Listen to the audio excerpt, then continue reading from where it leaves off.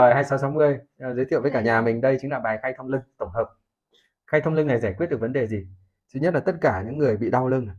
Đau lưng do gì? Thoái hóa đốt sống lưng này, thoát vị đế đệm này, gai thần kinh cột sống này, rồi gì viêm đau dây thần kinh tọa này. Tóm lại tất cả các vấn đề liên quan đến lưng thì mình sẽ làm cái bài này để chưa? Cong vẹo cột sống hay là lưng gù đều làm tất cả những các vấn đề liên quan lưng mà lưng nó có vấn đề sao nó sẽ gây ảnh hưởng rất lớn đến cuộc sống người ta nói rằng cột sống là gì ạ trụ cột của cuộc sống cái cột sống này, cái trụ cột của cuộc sống này nó có vấn vấn đề sao nào? Đi lại không được này, nó dẫn đến đau mông này, tê đùi này, đau chân, đi lại khó khăn. Rồi ảnh hưởng đến cột sống này dẫn đến là gì ạ? Tiểu tiện, đại tiện khó khăn. Rất nhiều cái đường dây thần kinh chạy dọc hai bên cột sống này. Đúng chưa nào? Và nhất là cái vùng L3 L4 L5 những cái vùng này rất dễ bị thoái hóa tại vì nó hay gặp. Thế thì những người có bệnh rồi mình làm này cũng tốt, và những người gì bình thường ấy, mà làm massage spa này thường xuyên cũng rất là tốt, được chưa thì cái bài này ứng dụng cho ai này ứng dụng cho các thầy thuốc này những thầy đông y này những người làm vật lý trị liệu này những người làm massage so bóp này spa này hoặc là những người tại gia đình để làm cho nhau. Đây là một cách gọi là phòng và trị bệnh đồng thời là gì chăm sóc sức khỏe hàng ngày cũng rất tốt. Một người mà một tuần mà được làm một hai lần thì quá phê. Hoặc là lúc mình mệt mỏi mà được làm này thì yên tâm ngủ ngon tới sáng luôn nhé thì bước đầu tiên mình sẽ dùng cái đây là dầu dừa lô hội bách chi này mình sẽ xịt này mình sẽ xịt lên để cho nó gì ạ? Vừa là chất làm đẹp da, vừa là bôi trơn nhé đấy xịt thơm này dạ mình thôi thoải mái. Mình sẽ gì? Mình sẽ hoàn toàn là không dùng đến tay mình hoàn toàn dùng dụng cụ. Cho nên là gì ạ? Mình sẽ không bị mất sức.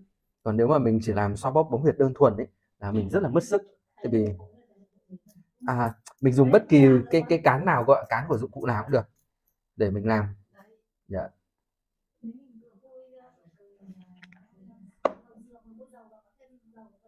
được tùy chị ạ. Bất kể cái món bôi trơn nào chứ không nhất thiết phải là dừa dừa hội không cần. Đừng đừng có bôi dầu gió. Đừng có bôi cao. Bôi cao nó quá nóng. Bình thường mình, những cái dụng cụ mình làm nó đã nóng gian lên rồi. Mà bây giờ kết hợp cao lại hơi ngải nó quá nóng. Đừng tham nhé mình chỉ làm cái dầu dừa này để làm mát, để bôi trơn thôi. Đấy, trơn rồi này. Rồi, đầu tiên, mình sẽ dùng cái lăn đinh. Đôi lớn ngắn ngắn tiện trở mình sẽ lăn này. Mình cứ chia lưng ra thành bốn phần bằng nhau. Đấy. Lăn khắp cả hông này bên sườn này lăn cả bên này. Đấy. Thì ờ, lời thì lời khuyên như này này. Một người đến với mình ấy thì mình đừng có chăm chăm chữa cho họ vào cái bệnh của họ. Chăm chăm chữa thì mình chỉ cần bấm huyệt khoảng 50 phút là xong. Mà mình làm ở tại tiệm của mình ấy thì mình cứ khai thông đầu này cổ gáy này lưng này làm cho toàn thân họ dễ chịu khí huyết lưu thông. Thì đến lúc mình bấm trực tiếp vào cái bệnh của họ ấy, thì nó rất là hiệu quả được chưa thì nó rất là nhanh. Đấy, lăn khắp như thế rồi mình lăn hai bên cuộc sống này. Đấy. lăn một tí nó đã hồng đều lên này. Em cảm thấy nào? Rồi ok. Cần lực mạnh hơn thì em cứ nói nhá. Đấy. hết một vòng. Sau đó mọi người sẽ lặp lại vòng thứ hai vòng thứ ba. Tương tự như vậy được chưa? mình chỉ làm demo một lần thôi. Rồi tiếp theo. Đây là lăn cầu đinh đôi lớn cắn dài. Mình cũng lăn như vậy. Lăn khắp trên vai này. Đấy. mọi người cứ lăn một lăn khoảng 5 60 tiếng đếm không những lăn lưng mà lăn cả lên vai này nữa này. Một bài của mình thì làm hết cả cổ vai gáy. Đấy. rồi, xong rồi tiếp theo đến đây lăn tận hông này. Rồi khi mà mọi người làm ở các tiệm của mình ấy, tại nhà, mình có thể kết hợp gì? Lăn tận xuống mông tận đùi cho họ, chân cho họ, đúng không nào? Thì khí huyết lưu thông toàn thân, mình làm cái gì nó cũng dễ. Tức là mình chủ trương là phục hồi chính khí lại cho họ, làm cho họ thoải mái, khỏe khoắn thì đến lúc mình bấm huyệt thì nó rất là hiệu quả. Rồi, tiếp theo nhất là cái vùng này này. Chú ý vùng này là dễ bị thoái hóa nhất dễ gặp vấn đề nhất. Thì khi mình lăn này có hai cái gai hai bên thì nó sẽ tác động nó làm cho cuộc sống nó thẳng lại nó khai thông đúng vị trí của nó. Được chưa? Như vậy mình lăn hết bốn xung quanh rồi. Tiếp theo này. Lăn hai bên cuộc sống rồi thế chính giữa cuộc sống phải là thằng này. Lăn này đấy. Thì bây giờ mình thấy nó hồng đều rất là ấy này lăn tận lên cổ gái này. Khi mà nó hồng đều lên tức là khí huyết nó về nó nóng lên thì đương nhiên nó sẽ giải quyết được các, các vấn đề liên quan thoái hóa thì như người xưa nói là thông tắc bất thống thống tắc bất thông. Đây là dụng cụ số 3 là lăn cuộc sống. Đấy. Lăn mỗi vị trí khoảng 50 60 tiếng đếm, lặp lại như vậy, lần thứ hai, xong lặp lại lần thứ ba, như vậy. Cái dụng cụ thứ ba. Tiếp theo dụng cụ thứ tư là búa lớn, là bước thứ tư này. Mình sẽ gõ đầu đệm này trước. Đây. Gõ đầu đệm này trước này. Đấy. tay trái của mình phải sờ để tránh các mỏng xương này. Gõ nhất là gõ những vùng cơ này. Em thấy nào em? Thoải mái không? Là được là đủ ok. Đấy thỉnh thoảng mình phải trao đổi nhé trao đổi xem người ta cảm thấy nào. Không gõ cái vùng này nữa này. Đó nào. Đấy, gõ vùng này. Vùng hông này rất là thích này. Đấy, gõ vùng hông này. Rồi. Rồi.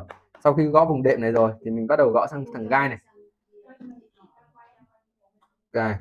Bây giờ sờ vào thấy nó nóng rồi này. Đó nào đấy gõ sau đó gõ hai bên cột sống này. Em thấy gõ này nào?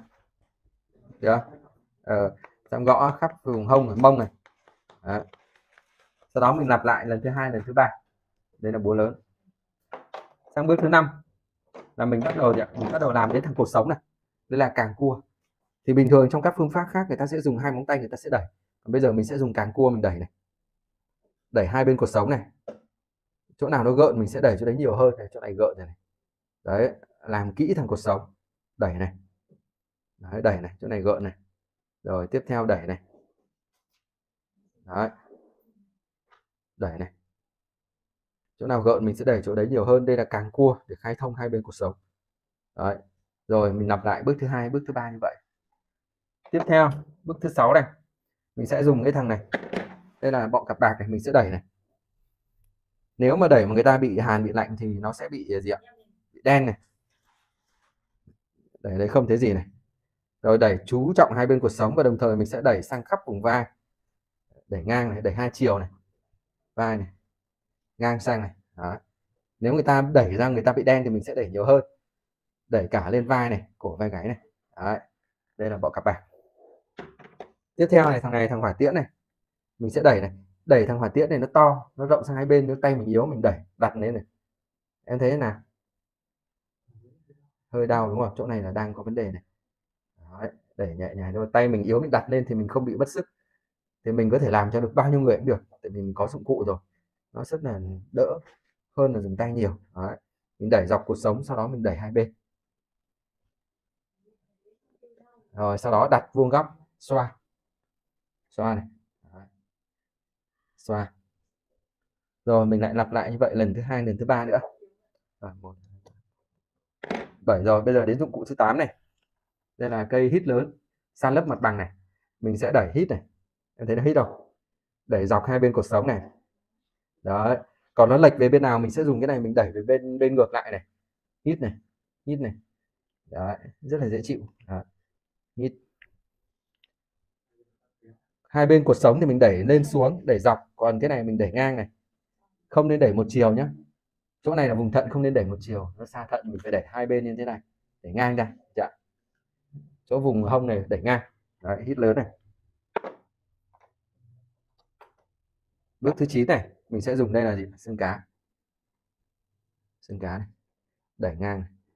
giống như mình lăn gõ rồi bây giờ còn những cái gì nó tồn động những cái gì nó vướng sơ cứng mình đẩy tiếp cái thằng này đẩy rất là đã. Cái thằng này cái thằng lôi này thì đẩy đâu nào? Để lên những cái vùng lõm của thằng lõm này. À, đúng đúng chuẩn luôn. À, thì mỗi người sẽ có cảm giác với một cái dụng cụ nó khác nhau. Có người thích dụng cụ này người thích dụng cụ kia. Đấy là tùy cảm nhận thôi. Đấy. Rồi đây xương cá lớn. Bước thứ 10 đây là dùng con bọ để xoa. Em thấy thế nào? Những cái dụng cụ mà xoa ấy, thì mình làm cuối cùng dụng cụ lăn với gõ với cả đẩy thì mình làm ở đầu tiên. Thì kinh nghiệm là gì mình làm cho khách mình cứ xếp. Kinh nghiệm là gì? Mình cứ xếp dụng cụ ra lần lượt ra trong cứ thế mà làm là không cần phải nhớ đúng không? Cứ lần lượt mà làm. Đấy. Con nào làm trước con nào làm sau mình cứ xếp ra có một cái xe đẩy ạ. Đấy, các tầng. Đấy. Rồi cuối cùng con nhẹ này. Nhẹ này. Mình nhớ đặt này hai chân trước, hai chân sau để cột sống ở giữa. Rồi có đẩy hai bên cột sống này, rồi lại cái cái này nó đẩy xa hơn thì mình thấy là dọc hai bên cột sống rất nhiều huyệt, đúng nào? Thì người ta học cũng rất là phức tạp và người ta học có lâu lắm. Thì thôi, mình có sáu cái chân, sáu cái ngón tay này, bấm kiểu gì cũng trúng hết. Thế là xong nhá. À đẩy này. Mình sẽ đẩy gì? Dứt khoát. Đẩy này, lên xuống hai chiều, được chưa nào? Chạy qua hết tất cả các huyệt ở đây cực đã luôn. Cuối cùng mình mới bấm huyệt thì sao? Nó rất là sâu đúng không? Đẩy này ấn xuống này đẩy lên đẩy xuống này. Em thấy nào em? À, nói gì đi chứ? Đẩy này xong rồi. Đến chân tóc này mình đẩy tận đến chân tóc. Ở dưới chân tóc cái này có rất nhiều huyệt đúng không? Mình hơi đẩy lên trên vừa sức của người ta. Đấy đẩy lên này. Đấy, làm kỹ này rất là đã. Xong động tác thứ hai này. Bây giờ mình lắc lắc hai bên. Nó lệch nó lồi nó lõm nó thoát vị nó sẽ đẩy vào trong nhưng mà đừng lắc mạnh quá. Lắc này đi qua đi lại được chưa nào? Đấy. Thì mình đã làm lăn rồi mình gõ rồi nó mềm ra rồi thì đến động tác này nó rất là sâu. Đấy cứ đẩy dần từ từ từ từ lắc. Đấy, lắc. Đấy, em thấy sao? Sâu hơn đúng không? Đã đúng không? Rồi lắc đẩy. Tay mình yếu thì mình dùng hai tay mình làm cứ nhẹ nhàng nhưng mà phải di chuyển đừng có giữ tại một chỗ đẩy tận sâu xuống dưới này được chưa nào? Đấy. rồi xong rồi xoa này. Vừa xoa vừa ấn giống như ấn huyệt ấy.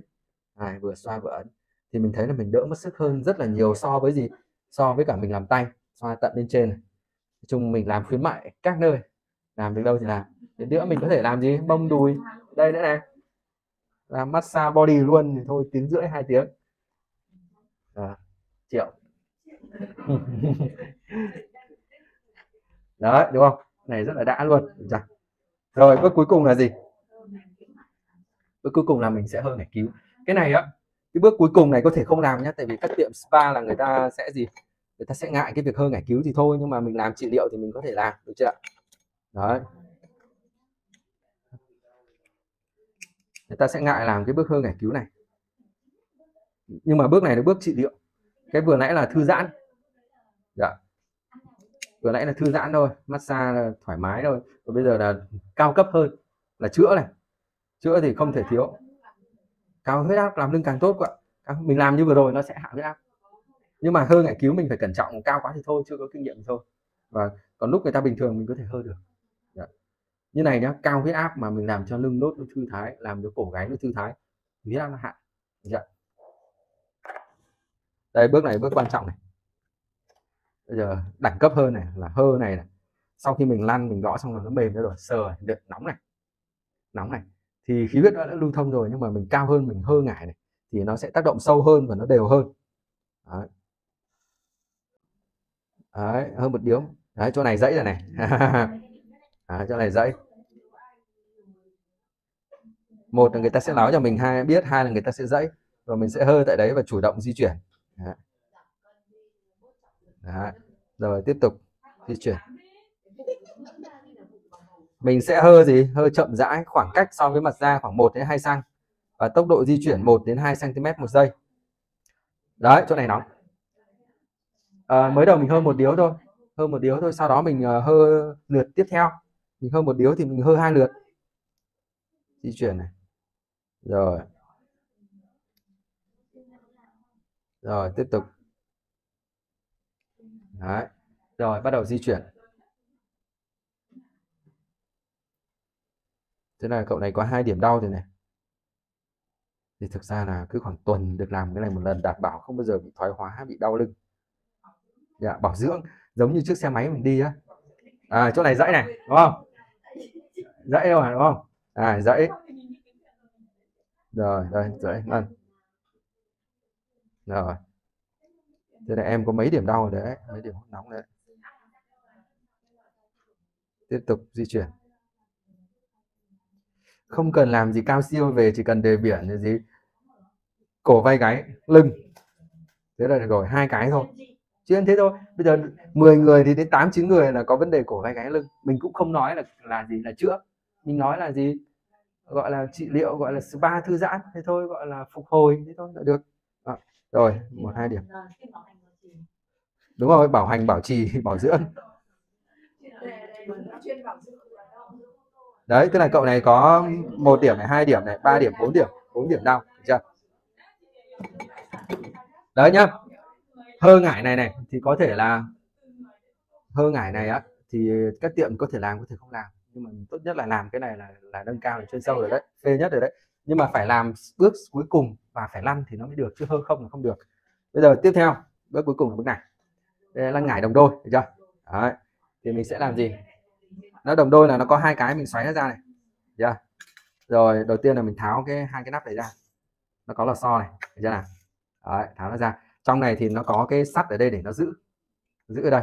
Mình sẽ một điếu ngải ấy là mình sẽ bẻ đôi nó ra. Để nó dài như này là nó không vào được nó dài quá. Thì mình sẽ bẻ chỉ gắn như này thôi. Rồi. mình sẽ bẻ bẻ đôi điếu ngải ra. Đây như này. Như này đúng không? Đấy thì mình sẽ này cái này mình sẽ nhét vào này. Nhét vào. Sau đó mình mình nắp cái lò xo này vào. Thì nó sẽ đẩy. Thì đây đây cái đầu của ngòi nó sẽ ra ở đây. Đấy là một nửa. Và tiếp theo này cái này mình phải bóp cái cái trong này vào để nó giữ. Trong này có thanh sắt để nó giữ cái cái đầu của cái điếu ngải á. Nhưng nhớ một điếu ngải là gì? Phải bẻ đôi ra không để nó dài quá là nó sẽ bị tòi ra ở đây. Một nửa điếu ngải này nhét vào đây. Sau đó lại nắp cái lò xo vào. Đấy, nắp lò xo vào đấy. Xoáy.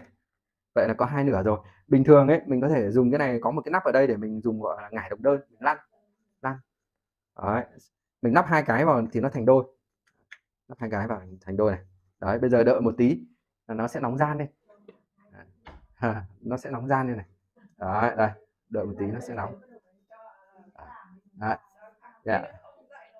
nó sẽ nóng gian sau đó thì sau đó mình làm này lăn thì bước cuối cùng này là để gì ạ? Để làm phẳng lưng, để massage thư giãn, để thoải mái, dễ chịu nhất. À. lăn. Bao giờ mình làm, mình kiểm tra huyết áp huyết áp người cao quá thì không làm gì hết. Chỉ chỉ ưu tiên là gì? Ưu tiên hạ huyết áp mà thôi. Cái nào người ta bình thường thì mình mới bắt đầu mình làm. Tất cả khác. Thì lúc đấy mình làm nhưng mà mình hạn chế dùng đảng và mình vừa làm vừa theo dõi. Dạ. nhưng mà huyết áp cao mà lưng lạnh mà chân tay lạnh ấy, thì mình làm nó hạn ngay lập tức lưu ý nha huyết áp quá cao tất cả không làm gì hết chỉ có ưu tiên hạ huyết áp mà thôi. Đấy. em thấy sao em? Đấy ấm rồi đây này. Cảm thấy đây là xong mình lăn đấy lăn đến cổ gáy này mình có thể lăn chậm chậm một tí. Phê lắm chậm chậm tí thì nó vừa nóng xong kết hợp với cái gai ở đây này. Vừa nóng xong nó vừa gai ở đây mình lăn rất là dễ chịu nhất là vào mùa đông. À, massage rất là thích. Rồi dạ, dạ được. Lăn đằng trước để giảm mỡ bụng. Rồi đây lăn này ấm làm ấm gan ấm gan rồi ấm chân ấm tay. Mình có thể sử dụng cái này hoặc là đồng đơn thì nó nhỏ gọn. Đấy, còn cái này làm lưng ở cái này. Đấy.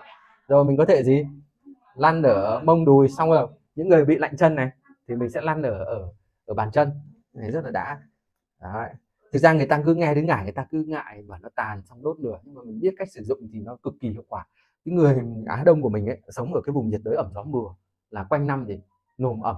Cho nên cái hàn rồi cái khí khí, khí ẩm nó tích tụ trong người mình cho nên bị hàn thấp ấy thấp khớp đầy cũng nào? Đấy mình phải trục nó ra. Đấy, bắt đầu ấm này này. Nó nói gì đi em? À, thế nào em? Quý khách cảm thấy thế nào? Chỉ muốn ngủ à? Cho nên nha những người mất ngủ ấy uống thuốc ngủ triền miên làm gì đúng không? Làm bài này cổ gáy này ngủ ngon ngay. Tức là chỉ bài cổ cái gáy với bài lưng của mình là giải quyết được hết. Này chỗ này thấy không? Đấy trên cổ cực thích luôn.